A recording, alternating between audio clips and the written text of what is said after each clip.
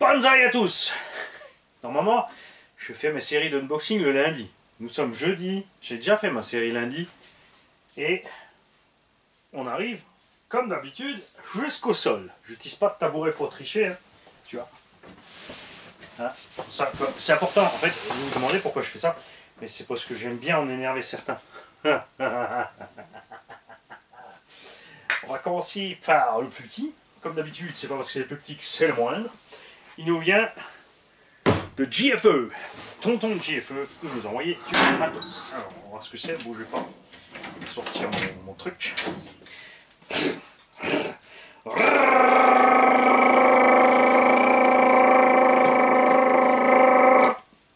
Comment ça, c'est pas drôle? Tu préfères l'autre?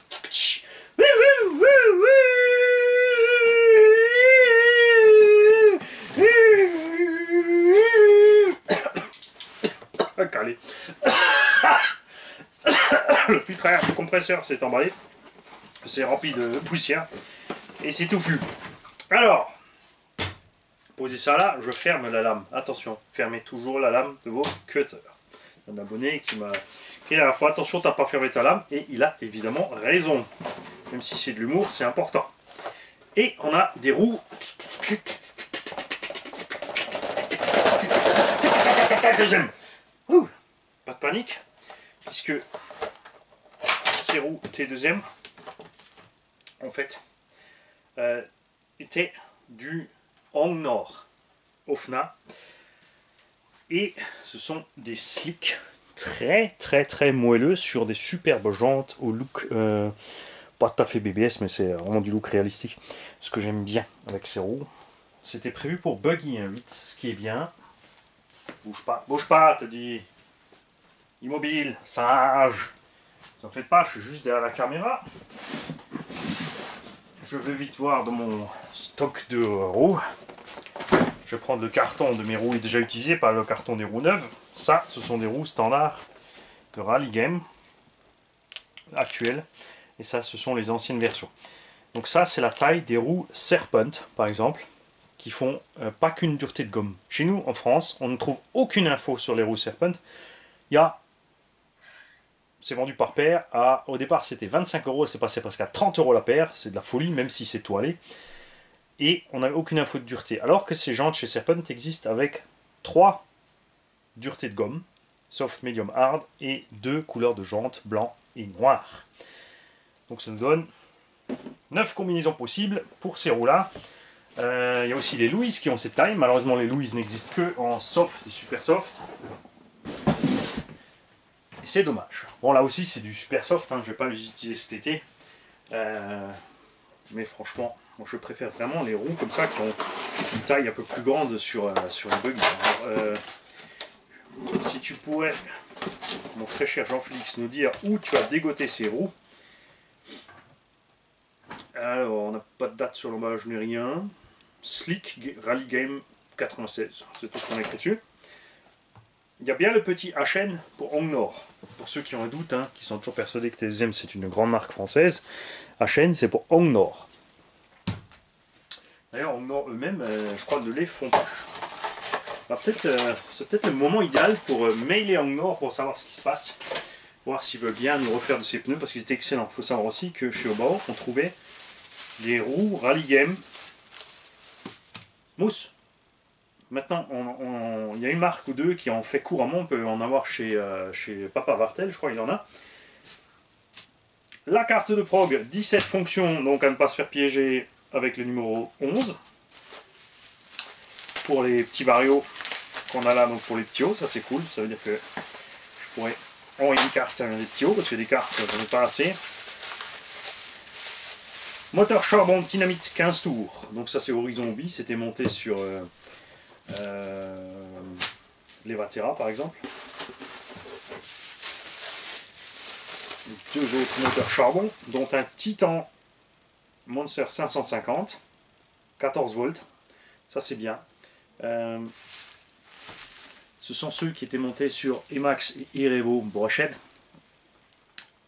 Et comme il prend 14 volts, si tu prends les nouveaux XL5 HV qui prennent donc les 3S, tu peux rouler ce moteur charbon en 3S Et en 3S, malgré son charbon, il a les perfs d'un brushless en 2S. Après, ça restera toujours pas un charbon, un brushless, point de puissance finale. Euh, mais c'est vrai que beaucoup aiment le charbon pour la douceur de démarrage. Mais ça, ça se programme sur un brushless. Tu peux programmer une bride de démarrage, de puissance, etc. Là, on a un autre moteur 550. On ne sait pas trop ce que c'est. Si. Deuxième aussi. Pirate. 15 tours. Donc celui-là, euh, tu peux pas le mettre dans n'importe quoi, engin pas trop lourd hein, de préférence. Ça, ça peut rentrer dans un, un 4x4. Euh, ça, faudra rester sur... Euh, enfin, ça peut rentrer dans un 4x4, mais genre truggy léger ou autre, pas dans un monster. Enfin, dès que ça va trop forcer, comme il a beaucoup de tours, ça va surstopper.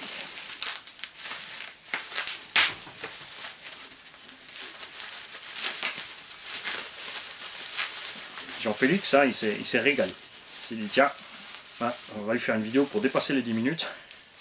Mais tout lui envoyer bien emballé. On a un Traxas EVX2 16,8 volts qui a le low voltage détection. Ça c'est cool.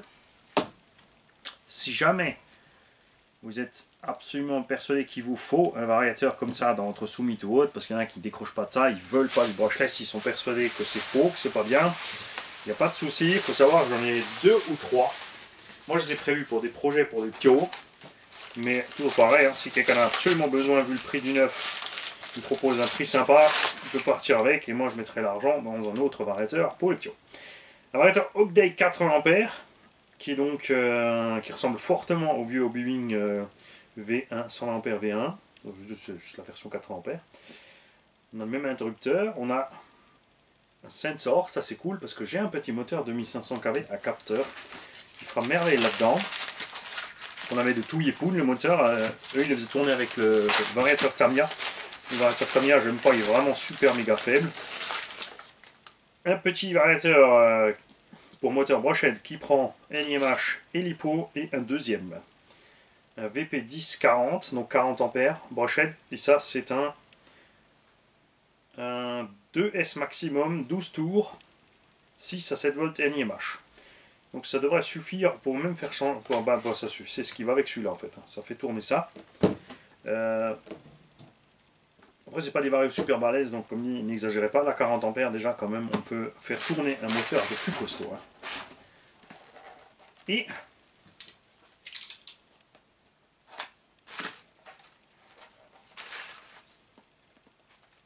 il nous a mis une bande de garantie dessus. Hein. On va la bande de garantie en live. Si on n'a plus de garantie. T'es fou Hey, tonton, il nous a envoyé ça. Des petites Furion 11 volts 25C 2200 mAh. C'est un excellent gabarit et c'est un excellent choix justement pour faire tourner ce genre de choses. Donc celui-là, il prend 3S normalement. 2 à 3S lipo. Voilà, boum.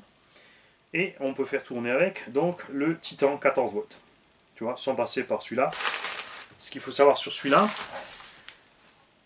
voilà, tu vois, là, on a un pont dessus déjà pour tourner avec une seule lipo.